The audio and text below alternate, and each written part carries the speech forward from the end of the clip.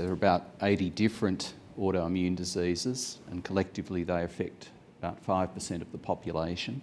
And an autoimmune disease arises when the immune system becomes dysregulated and causes inflammation in normal host tissue. Now, we have lots of treatments which are available for autoimmune diseases, but no treatment works on all patients. We need to be able to better match patients to treatment. This is what we call personalised medicine.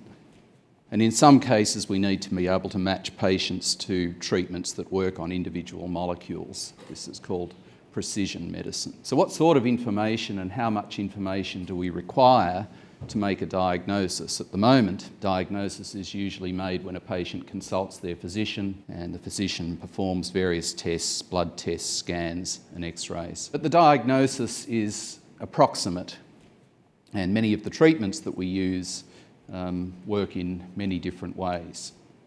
So we overcome all of this uncertainty, uh, this imprecision, by matching patients with these fuzzy diagnoses with treatments that work in multiple ways, and we evaluate all of that in a clinical trial. Now, autoimmune diseases do have a significant genetic component. We know this because if one identical twin is affected, there's a 50% chance that the other identical twin will be affected and even in families where there is no where there are no twins, there is still clustering of autoimmune and inflammatory diseases. Now, we're all made up of trillions of different cells, um, different cell types cluster together to form organs.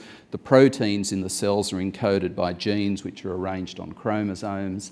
And our genetic makeup comprises complementary strands of 3 billion bases A, C, T, and G.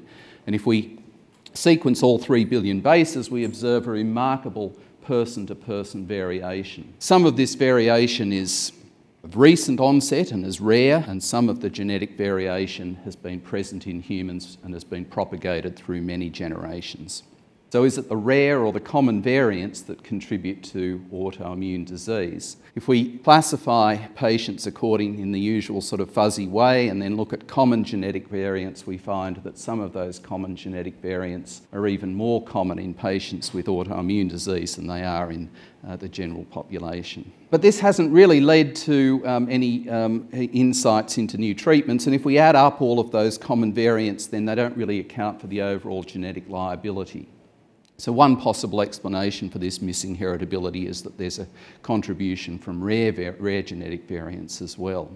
The fuzzy diagnostic categories might be fuzzy because they're in fact made up of many subcategories of disease, but overall, characterising um, the complete um, genetic makeup of an autoimmune disease might not be necessary for um, understanding or for personalising medicine, and this is because not all genetic variants are pathological. Now, we can engineer genetic variants that we identify in humans to alter the orthologous variant in mice. This way, we can test whether there is um, a phenotype conferred by the genetic variant, and if there is, we can perform experiments to try and understand the mechanism. And this is the strategy that we take at the Centre for Personalised Immunology, where um, uh, the discovery program begins with characterising variants in patients. We then proceed to understand mechanism, and by building these bespoke models, um, we can uh, arrive at a decision about a particular genetic variant, even if it's only present in one family.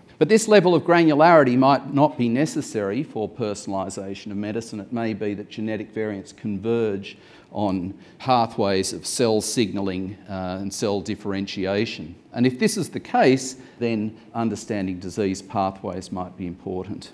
So, rare variants give us uh, insights into pathways of disease.